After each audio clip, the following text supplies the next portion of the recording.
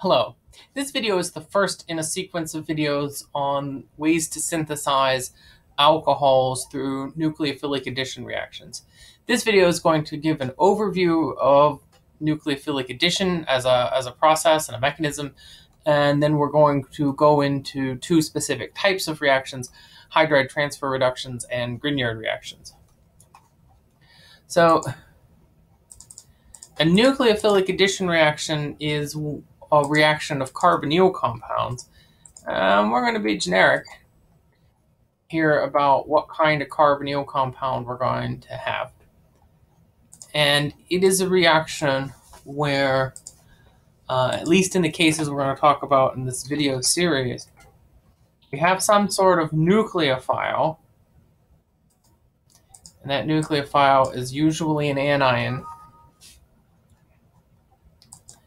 and we have some sort of proton source uh, that we have. Now, depending on the identity of the nucleophile and, and whatnot, the proton source may be in the reaction. It might be connected or related to the nucleophile. It might be something we need to add later as a workup. Uh, and when I get to the videos on the specific reactions, uh, I will share the different types of proton sources.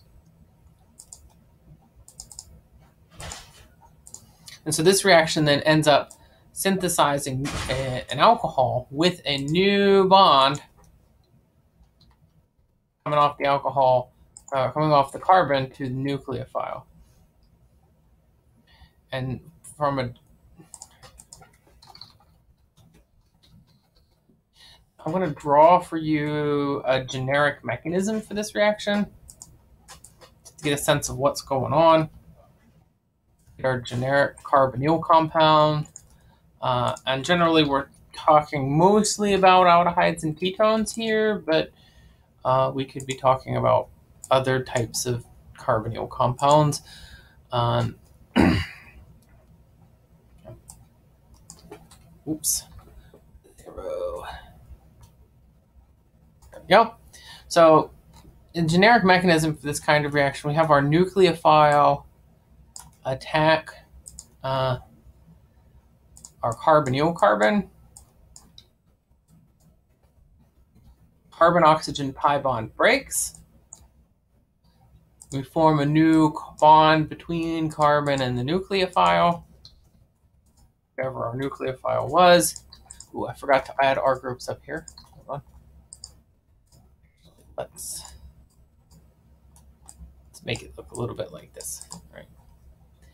And then, uh, and so we generate this alkoxide anion intermediate, uh, which is probably not what we want. So now we need our proton source,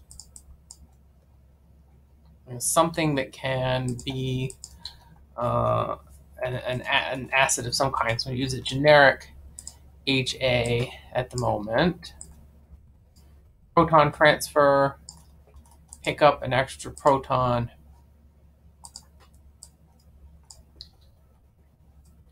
Generate our alcohol product. It turns out in the, the world of organic chemistry, there are a wide range of nucleophiles that can do this, but we are really going to focus in this series of videos on hydrogen nucleophiles and carbon nucleophiles.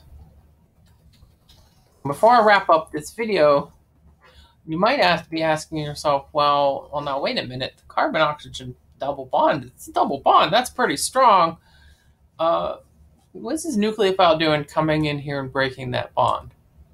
Let's just very quickly uh, talk about the carbonyl group as an electrophile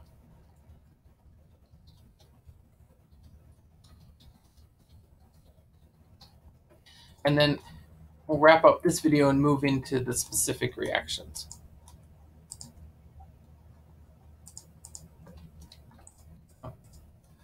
Uh, here is here is our carbonyl group, and I'm instead of having R groups, I'm just going to have methyl groups. So this is uh, 2-propanone or acetone. And I'm going to go ahead and put in my lone pairs on the oxygen. I don't normally draw lone pairs uh, because by this point, most most people in their study of organic chemistry uh, are expected to be able to understand uh, from a structure where lone pairs might be. Actually, I don't want this. Um, but what you might not know or remember uh, is that there is another resonance contributor that can be drawn. Whoops. For the carbonyl group that moves uh, the electron pair in the pi bond up to the oxygen to form another lone pair. Uh, don't like that I'm not given a lot of choices here on where to put my negative charge. This is a little bit awkward. Here we go.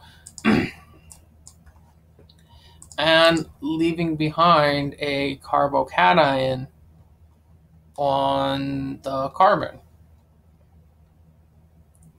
Now, what is true is that the uh, the resonance contributor on the left is more important overall.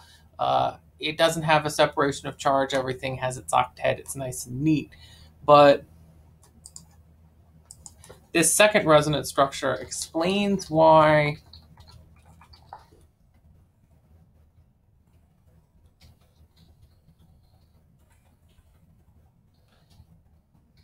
explains why that CO bond is more electrophilic than you would expect.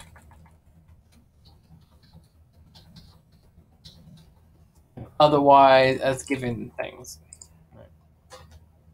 Because there's a resonance structure here that has the carbon with some partial positive uh, character and more partial positive character.